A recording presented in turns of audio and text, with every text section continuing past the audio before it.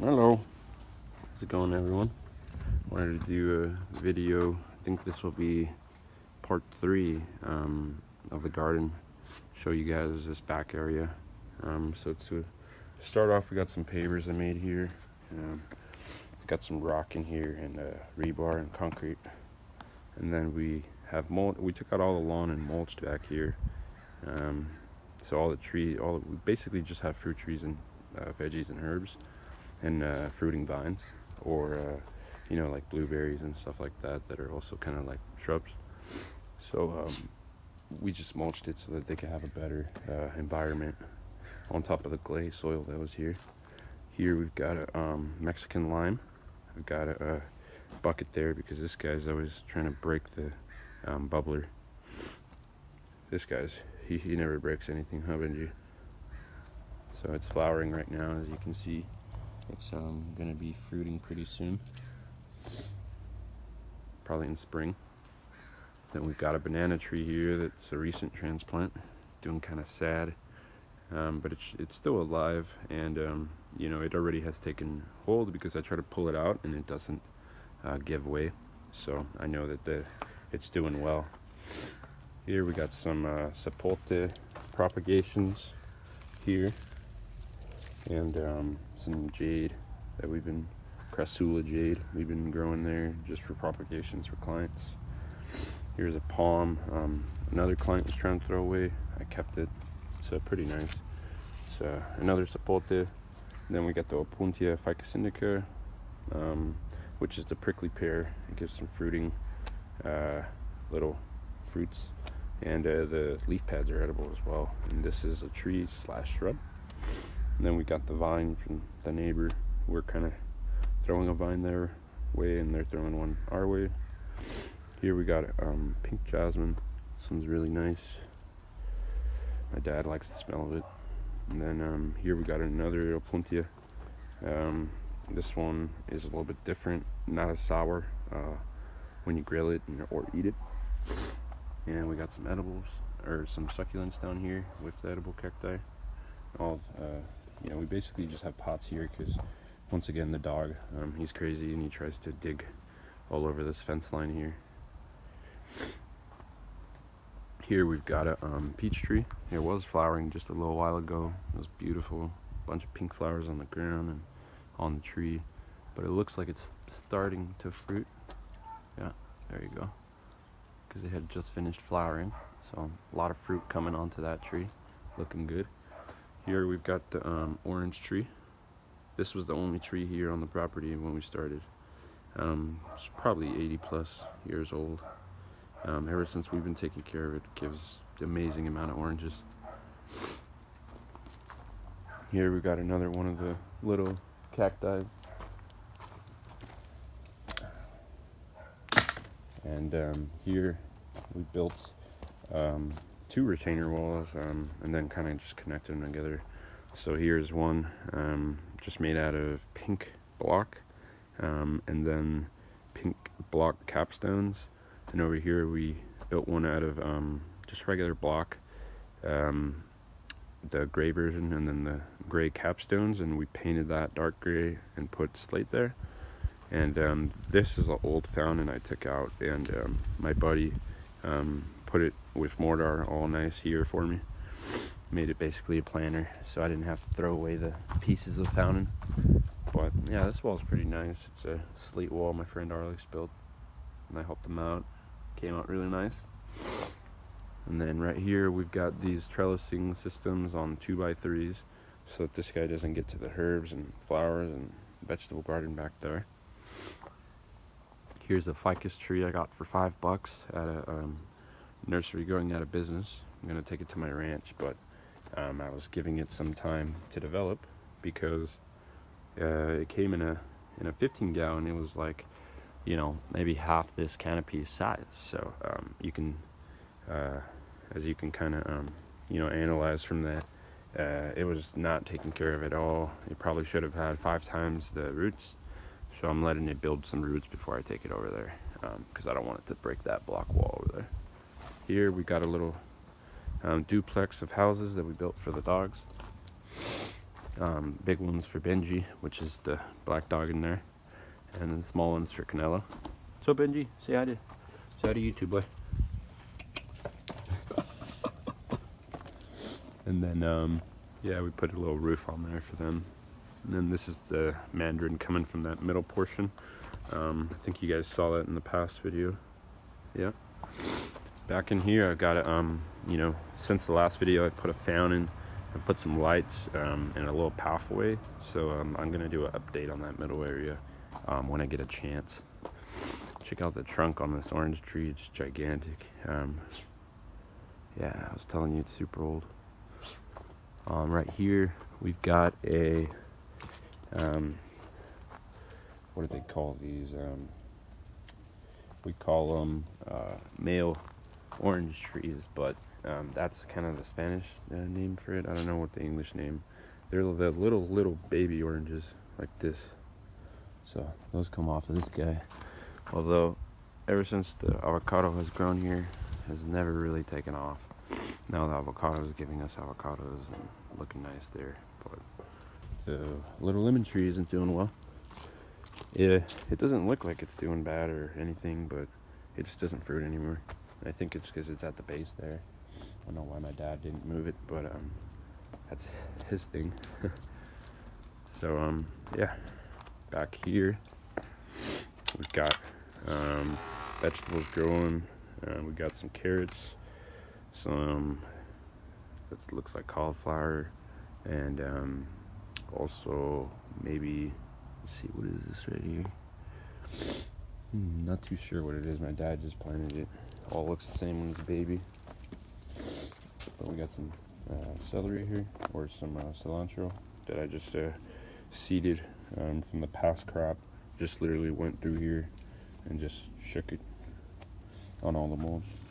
We got the passion fruit vine and a little rosemary uh, there that we pick stuff off of that was much larger before. It was this whole area, but we cut it back just recently. Here we've got a, um, let's see, semi-dwarf pear this guy's been doing well here. Canelo, get out. And we got some uh, Opuntia cacti, some agaves, uh, foxtail agaves, and then we got the um, uh, Opuntias here. I think that's the, no, that's not the Megacanthus. Um, what is that one going to be called? It's called the Nopal Blanco in Spanish. Forget the name for it though in English. Um, this one here is also an Opuntia. Um, all these Opuntias are edible. That's kind of why we have five, six different species because we like the different taste of them. So these are all lined up against the fence wall back here. Got some dates propagating here for the ranch. Only one came out out of like 30 seeds, but hey, one's better than nothing. Over here we've got um, some cilantro, onions, um, also carrots.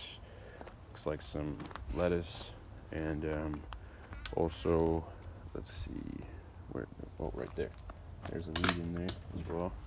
Gotta de-weed these when I get a chance. Got the Mexican marigold there. Mom likes the fragrance of it. That one's super fragrant and um, you know you literally just have to go like this.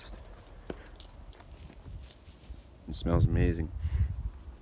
I need to make a shampoo out of it uh, when I get a chance I want to try to you know, I'm an entrepreneur, so I like to make stuff and invent stuff. I think a shampoo out of that would be amazing. Same with the rye, super fragrant herb that is great for cooking. Um, I think it'd be really good uh, for shampoo.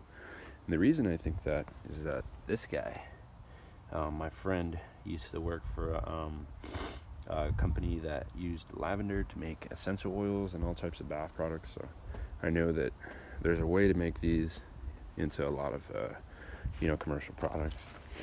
Back here, we've got the, um, let's see, what is this? Another peach tree, little baby, and a lime tree down there that was tall, and then it got diseased and died back, so we cut it all the way down so it regrows healthy. Its rootstock's still good, so it, it's still alive and real healthy. It just looks, you know, like nothing compared to what it was before. Got the goji berries growing here. Need to make a little trellising system for them. You notice over here, I've got a trellising system for them going above the vegetables kind of want to provide some shade for the vegetables.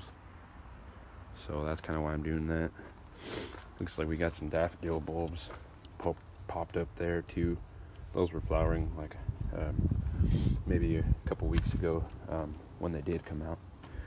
When they when they uh, come out of their bulb, that's when they're flowering uh, the best. So we got some um, agave, blue agave here. Been taking all basically all the ones that I have on the property to the ranch, except this one, just because it's so large and I like the way it looks back here. Got some more edible cacti. Here we got a geranium. Love the smell on that. Uh, that's kind of why I have it in the flowers. And I really like the leaf on this one. Need to de-weed some of these um, but they've been flowering, so kind of like them for now. Another species of Opuntia. This is the so we've got the um the prickly pear over there, the Mexican one right here, and over there, uh, and then we got these that are the same. This guy and those, and then this one's a little different. Um, and then that one, this little baby right here is also different, right there. They all look the same, but they're all different. Cracks me up that people think they're all the same when there's like 300 species, 400 species of edible ones that I know of.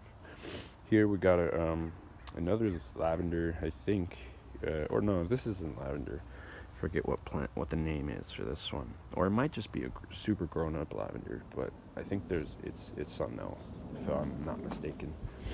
Here's a little fountain the client was throwing away. I got in here. Um, you know, I gotta paint it, make it nice, uh, still. Here's our umbrella for when the sun's out. Right now it's been super cloudy. Um, here's a little flagstone bench I built. with some excess flagstone that I had from a project. More rye. We use a lot of rye in the cooking, and um, we love when the wind blows on it and gets the garden full of that smell. So that's why we have a lot of a lot of it throughout here. Also got um, some cobra chilies here and some Thai chilies.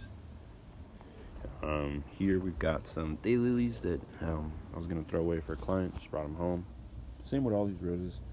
I really haven't bought any plants um, besides fruit trees, um, and especially a plant that doesn't give you food. I won't buy it. Um, but if a client is throwing away a super nice rose or a daylily, I'll take it with me. Here's some more chilies here and there. Um, I think those are, um, man, I forget the name for them. Um, but we use them for cooking as well. We use all the chilies and herbs and veggies and fruits for cooking and juicing. Um, but these are my favorite. They're these little baby um, chilies, if you could see them. But whew, do they pack a punch? Two, three of those in a soup, you're good. Um, and that's me that I like spice, so probably one for somebody that doesn't eat a lot of it. Some cilantro in here, uh, growing. Got a poppy uh, that my dad threw some poppy seeds back here. This is kind of like our flower section and herb section, so he was trying to just fill wherever there was mulch with that, but didn't really pan out. I threw um, a one gal osteospermum back here and it, um, it did actually pan out. Um, those give amazing flowers and um, they're they're not natives but they're basically um, act like natives. Um, you almost don't need to water or fertilize them at all. They'll flower a lot. If I fertilize this, this whole thing would be covered with flowers. Look at the rye flowering too. You can start to see its baby flower coming up. Here we got a pomegranate tree this guy's been growing real well. Gave us finally a good five pomegranates this year. It's maybe like uh, eight or nine footer. Got some more daylilies and roses. Look at all these beautiful roses. Mmm, smell amazing. Whew, smell amazing. Super sick right now, but still love smelling my roses. Then here we've got some grapes growing kind of this right piece of grape right here and then um, there's a grapevine right there too.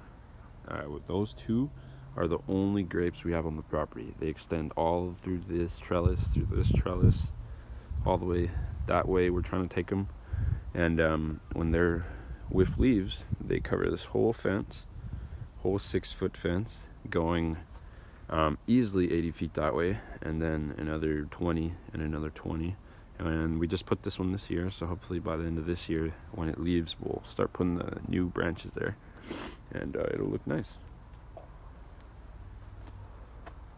yeah. I just recently cut all these with puntias. Uh, you can still see the chainsaw cuts. Um, but yeah, a lot of these roses were um, basically just given to me. Beautiful, beautiful. Well, yeah, that's um, the back uh, part of the garden. I'll try to update the middle section again um, when I can. Catch you guys later.